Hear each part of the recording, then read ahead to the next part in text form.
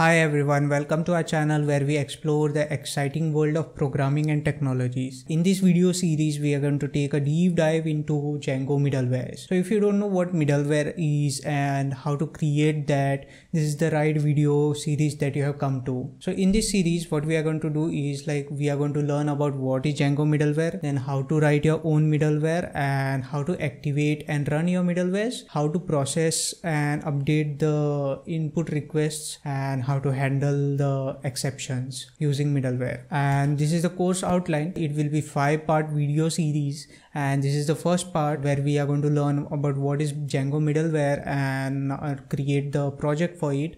Then second part is all about function based middlewares.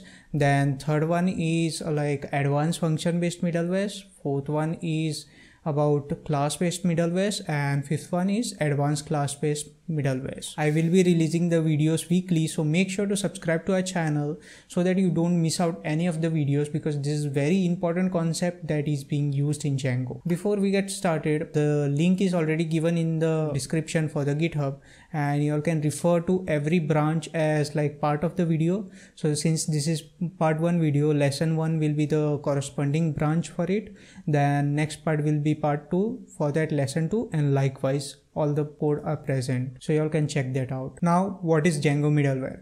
So as it says django middleware is hooked into django's request and response processing.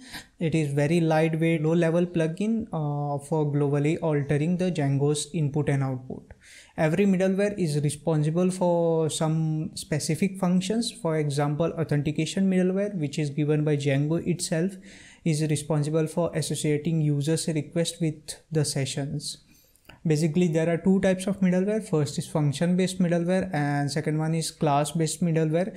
We are going to look at both of them in the upcoming videos. So now let's go into vs code and start configuring our project. And yes i have formatted my system finally and this is the new everything is new over here. So if we are missing any plugins then we will install it on the way so now I'm going to start by creating our shell or virtual environment. So I have created my virtual environment. This time I'm using virtual environment because uh, because of system formatting and there's some issue with pipenv. So that's why I'm going to use virtual env for this project series and we are going to activate that now. So it will be source.env bin and activate. So since our environment is activated, let me install the Django. So pip install Django. And once that is done let me clear it and that's it. So now we are going to start by creating our project itself first and then app. So i'm going to call the project as always as uh, start project src so django admin start project src oops my bad django admin start project src then go inside src and then we are going to do is django admin start app and we'll call it as demo. Like always we are going to uh, keep it same and then we are going to go inside src and again inside src and in settings.py we are going to start by configuring our project. Sorry app. So that will be demo. Now that our app is installed we will start by creating our file called as middlewares.py because that is where we are going to write our all the middlewares and we will write those middlewares in next upcoming videos. So make sure to subscribe to our channel. And in this one we are going to write a view so that we can uh, like configure it and use it for middleware responses to check whether middleware is working or not correctly. So I'm going to first create a middlewares.py, middlewares.py, and we are going to go inside view we are going to remove all these imports and we are going to do is import is uh, json response.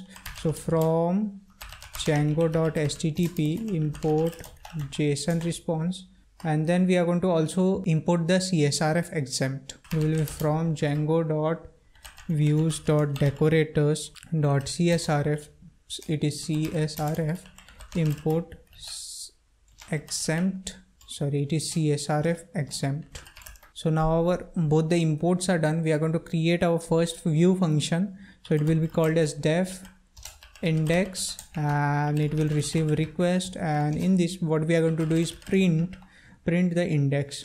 So i'm going to say index called and these print statements are really important for you all to understand how this middleware is working. So that's why i'm putting print statements purposely so index function called and we are going to put uh, a request dot post okay and then what we are going to do is return json response. And in this what we are going to say is message. So message message will be shubham replied hello. So our first function is also ready but we have to use this decorator over here. So i'm going to use that decorator because we are going to use it as uh, like api so that's why we are using this decorator. Now we have to uh, create the url for that. So what i'm going to do is import that function.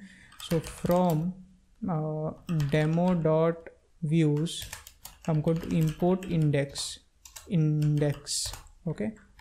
And we are going to create a new path. So path will be blank path and on that we are going to call this index function. So our urls are also ready. Now we have to just run and check it out whether it is working or not. So i will run that. So python manage.py run server. No need to apply the migration. It is fine because we are not really playing with uh, models or admin, admin as well. So i'm going to go to thunder client and i'm going to create a new request the new request will be on 1 to 7 itself. So i'm going to say this. And we are going to post this because we will be we are expecting data in request dot post over here. So that's why this uh, request is a post type request. And let's send. And the reply came message shubham uh, replied hello. So that means our function is working. That's it for this video. Make sure to subscribe to our channel because upcoming videos will explain how you can create your own middleware and how to use them. See you in the next one.